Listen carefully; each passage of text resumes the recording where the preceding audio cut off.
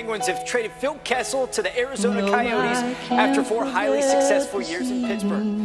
Your face as you were leaving, I had you there. Kessel was a vital part of the Penguins' back-to-back Cup titles in 16 and 17. But his plus-minus numbers Now don't it's only fair that I should let you know. Obviously, a lot of people sad to see Phil Kessel go. Have to appreciate the role he played. Kessel enjoying this moment.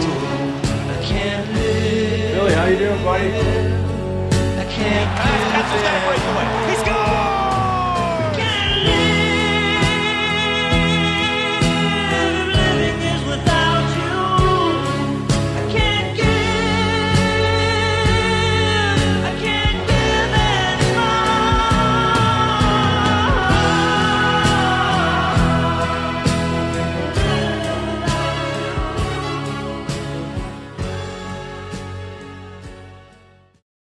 The difference is versatility.